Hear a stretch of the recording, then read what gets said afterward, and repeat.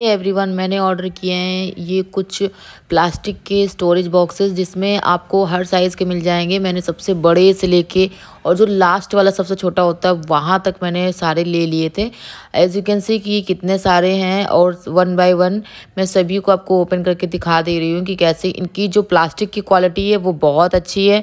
Generally इतनी अच्छी quality नहीं मिलती है। आपको बहुत ही पतली सी और बहुत ही मतलब वीक टाइप का जो होता है ना प्लास्टिक वो मिलती है बट ये बहुत ही हार्ड और बहुत ही अच्छी थी ट्रांसपेरेंट बहुत ही अच्छी थी और साइनिंग इसी बहुत अच्छी आ रही थी। आप देख सकते हो सबसे छोटा वाला था बॉक्स अब आप इसमें सामान क्या क्या रख सकते हैं? आप इसमें अपनी ज्वेलरी रख सकते हैं और इसमें आप अपने मेकअप का सामान भी रख सकते हैं, जो आपको यूज़ नहीं करना है लाइक आपको स्टोर करके रख देना है, वो भी आप रख सकते हैं। अभी मैं इसमें वन बाय वन करके अपने जो भी बैंगल्स कड़े हैं, चूड़ियाँ हैं उन सभी को रख रही हूँ, जो ऑक्सीडाइज वाली हैं, ये रख रही हूँ।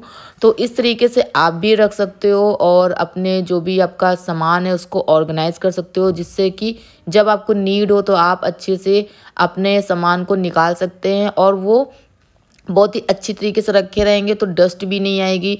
और जो आपका सामान है, उसकी लाइफ भी काफ़ी बढ़ जाती है।